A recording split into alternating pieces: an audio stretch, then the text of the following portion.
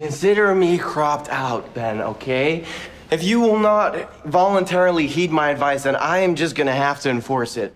You're gonna celebrate away from each other, then you're gonna get a hotel room, you're gonna lock the door, you're gonna remember what I did to each of you, and then you're gonna get at it. Only then can you call me back. What are you doing here? I asked you first. Did you know Max was gonna be here? Delightful. Audrey and I are gonna be too busy fucking Max again anyway. I can know. That's